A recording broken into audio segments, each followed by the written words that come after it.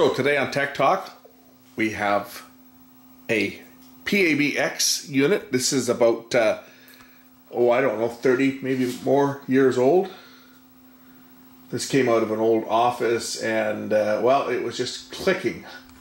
And what this is, is this is a, a private access branch exchange unit, basically a key switched phone system that connects an office phone system to the outside world. So basically what this did was this connected the central office to the office stations. And the office could have multiple handsets and uh, this would allow them, it's a, it's a model EK612 key telephone system. So this is a very old system and not in use anymore and this unit is basically going to go to the recycle bin so I figured before tossing it in the recycle bin, we'll take it apart and see what uh, makes this thing tick. On the other side of the unit, there's the CO inputs. So this was a six line system. So you have your six telephone lines coming in from the central office. This is going to the telephone exchange system. So the six lines would come into here. And this unit would then interface with multiple uh, handsets. They could have, you know, they could have 20 handsets in a business.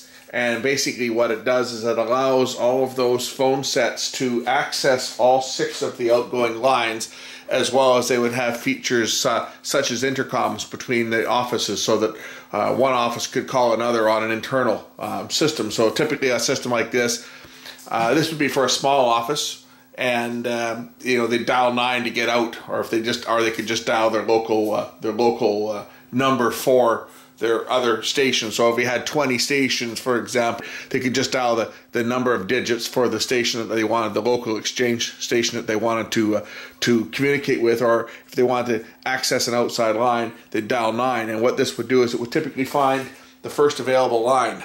And these were typically used on an over what they called overline system. It didn't have to be, it could be six individual numbers, but typically it was a, what they called an overline system where the first call coming in would automatically ring on line one. If line one was busy and someone dialed the business, it would then follow through to line two, line three, etc.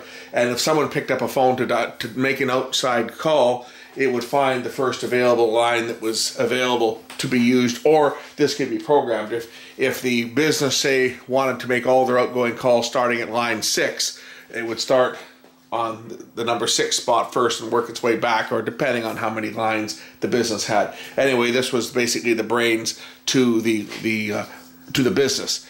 And this is again very old technology. So let's crack this thing open and uh, take a look inside it. I picked this up. I was just taking out a system today at work, and uh, this is going into recycling. So I figured, oh, before I toss this thing in the bin, let's uh, crack it open. And that plug on the bottom, that's probably for battery backup because this thing does require power in order to operate.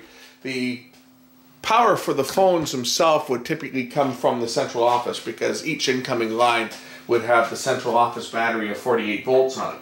But this unit itself requires its own power source to operate. So that would be for a battery backup, typically a 12 volt battery just to run the electronics that's in this unit here in the event of a power failure. Most of these units, they were set up in such a way that if there was a power failure, they would default to line one. So if someone picked up a phone, it would automatically go on the, the first line if there was no backup power. But uh, at least that's the way most of these things were configured. So a couple screws on the top cover should come off this thing quite easily. And if it doesn't, just needs a bit of coaxing. You can see there's a lot, there's a lot of parts in this thing. So we've got 18 isolation transformers here, so I think this is probably would, would handle 18, up to 18 phones that would be connected to this connector. This connector basically connected over to a BIX block or a 66 block that would allow um, the individual phones. And typically each phone would might be two or four wires depending on how this one is designed. But uh, anyway, this thing's got a battery backup on it as you can see. It has a rechargeable battery on here. that's to uh, keep the system up and running in the event of a power failure until the power comes back. And we've got a transformer over here. So I'll salvage what parts out of this thing I can because there's going to be parts in here that are, are useful. So before I trash this thing, you know, parts like the transformer, the circuit breaker and stuff, I'll be able to salvage them. Um, the ICs and stuff, uh, they're not they're not really much use for anything. They're pretty old technology, so that'll all be going into the bin. But I'm going to uh, I'm going to pull off on this thing what I can, and uh, and then we'll uh, end of life this thing some way. Of course, as soon as I apply power to it, it's going to do exactly the same thing that it was doing when I picked it up, and that's just relays are clicking.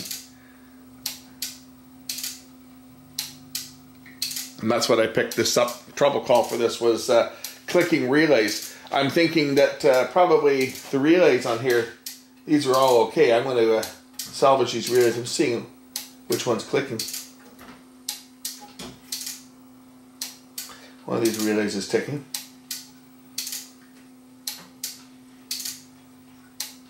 Oh, this IC is getting warm too.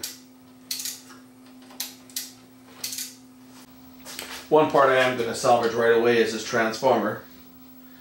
As you never know when you're going to need another transformer for something and uh, you know this is uh, one piece that uh, is going to be good.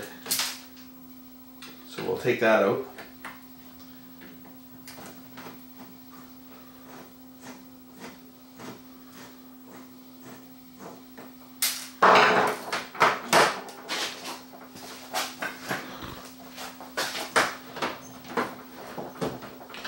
Think for sure these things are really well built. This thing's been in operation, you know, for well, it hasn't been used in it hasn't been used in over 20 years, but the thing was still powered up when I arrived on site to uh, decommission it. This thing was still powered up, and it had been powered up all those years. It just hadn't been used for anything. It had been disconnected and just left sitting in the closet um, with power still applied to it. I'm just going to cut some of these ties.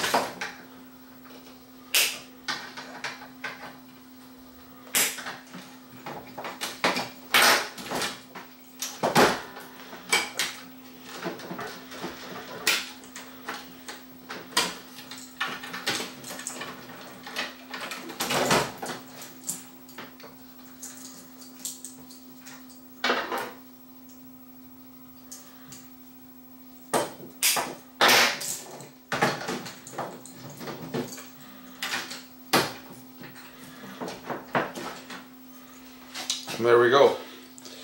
This transformer is, uh, I know it says what the voltage is, but uh, it'll be easy enough to measure this up. It's just a, it's just a center tap transformer. The black and white obviously are the primary. It's just a center tap transformer. So this one here, I'll be able to measure that and see what uh, that has got.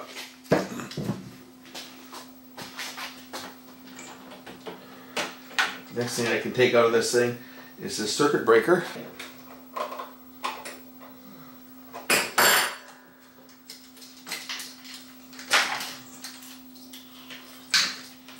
Never know when a good old press to reset uh, circuit breaker can come in handy.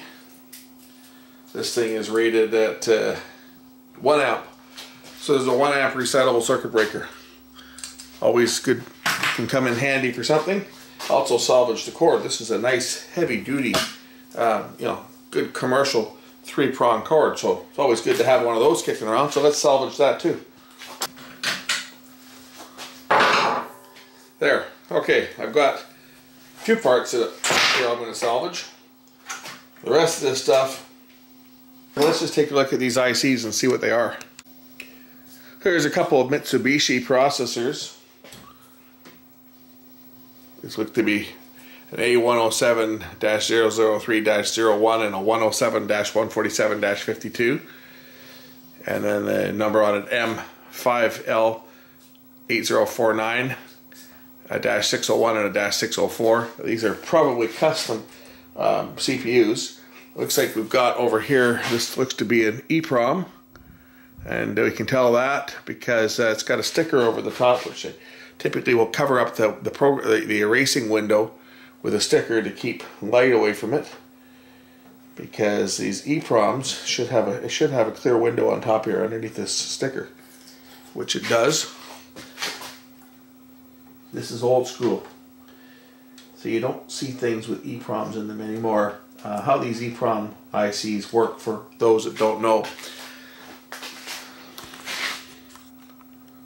This was a TMS 2764 and it's probably a 64k it'd be very small um, capacity. But uh, basically you'll see this that's the silicon wafer underneath there so there's the silicon wafer and all the bonding wires that connect it to the outside world and basically this is the earliest form of erasable uh, programmable read-only memory that's what EPROM stands for erasable programmable read-only memory in the early days, there was two types of read-only memory. Well, actually, there's three types of read-only memory. There's there's ROM, which the program is etched in when the chip is being manufactured, and it's programmed at the factory. It's basically hard coded. And then there was the programmable read-only memory. A programmable read-only memory was a chip very similar to this that could be programmed in the field once it was manufactured so they could turn out identical blanks and the application would be loaded you know by the manufacturer for each individual device and once they were programmed they were programmed permanently you could never ever change it the other type of programmable read-only memory was the erasable programmable read-only memory or EPROM which is what this is and what this window is for is to erase the chip. And how you erase the chip is you shine a strong ultraviolet light in through that window. So to erase it, and it, it's it's not instantaneous. It takes a period of time. Typically, would take you know 15 to 20 minutes to erase a, a, a fully erase an EPROM chip.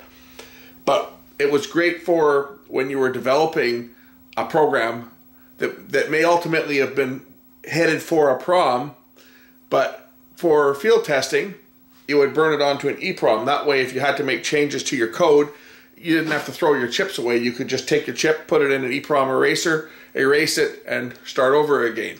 And they're very popular for a lot of applications like this because this was field upgradable. You know, if, if new features came out, they could program it onto an EPROM, send it out to technicians in the field, and the technician in the field could just come along and you know pop the chip out, socket it, pop the chip out, pop in a new one, and it was ready to go. And then he could take the other chip and he could send it back, and they could reuse the chip. Whereas a PROM uh, was one that once it was programmed, if uh, a change was made, they had to start over again and throw the chip out. So EPROMs made sense in that respect. We don't see EPROMs anymore. This is a very old technology. Now everything is all flash based, where you can electrically erase it. So that was the next the next type of chip that replaces was called the double EPROM, and that stood for electrically erasable programmable read-only memory. What that was the predecessor to what is now referred to as flash memory. Your USB sticks, your SD cards, and everything, they're based on EEPROM, but they operate much faster than EEPROM. The original double EEPROM, you had to erase each sector before you could use it. So you would erase each each each individual sector would be erased and, and rewritten. Whereas on the flash memory, you can erase in blocks and you can do it on the fly. So it's a little little faster. That's technology advances for us here. So the double EPROM. A couple crystals on this thing here. Take a look at those. Where are they here? There they are. Looks like 11 megahertz on that one. Can't see that one with the lighting in here. That's an 11 megahertz crystal as well. I can see that now. The lights are starting to come up here. But again, this thing is loaded and loaded with ICs. These are all going to be uh, digital ICs for the most part, TTL and so forth.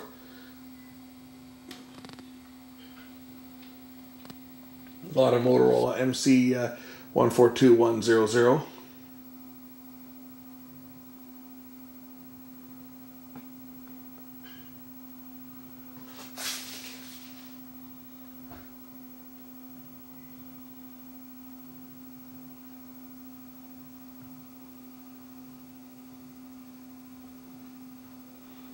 There's all the relays there.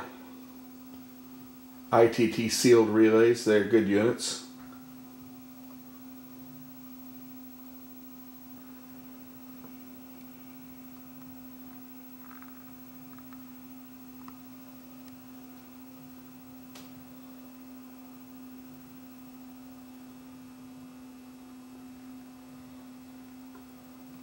So what these transformers are, you see on this side of the board, these are the isolation for the uh, the telephone network. So there's six of them, one for each of the incoming lines. That isolates the actual KSU from the telephone network, and then these other transformers on the other side. There's 18 of them, and they would be the transformers for the outgoing handsets that interface so that's how we know this one here could support up to 18 phones because each phone handset would have one transformer for it. It's possible that it may only be a nine line version too because depending on the setup it could have been a two transformers per uh, per, per handset or one transformer per handset but this is probably an 18 or capable of 18 lines. Uh, there's a, that's a what we call a bodge board. That's something that uh, Dave Jones would call a bodge board anyway. And that was just an, an additional board that was added after the fact because somebody messed something up.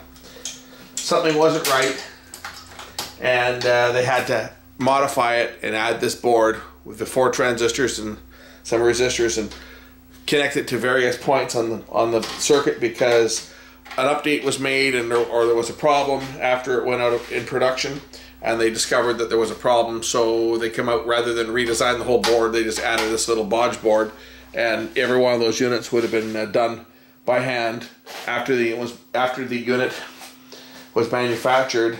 This would have been added on after the fact. As you can see there's the bottom side of the board. There are no components on the bottom side of this board. All the components are all through hole and they're all mounted on the top side it is a double-sided board as you saw.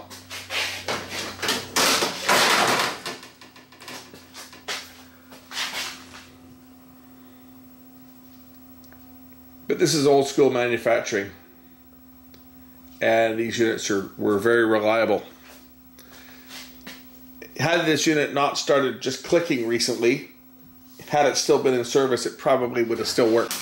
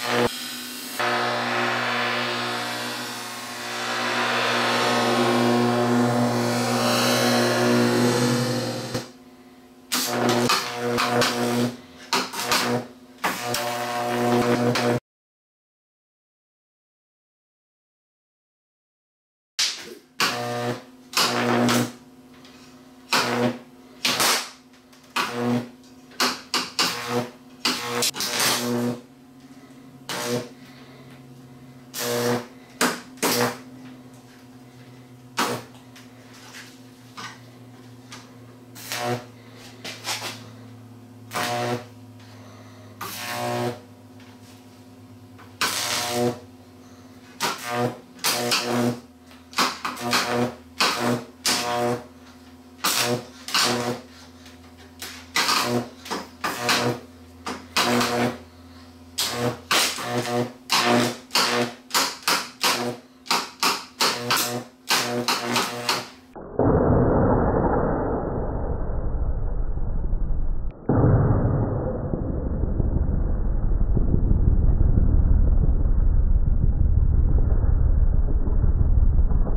As a bonus, let's say bye-bye to a laptop.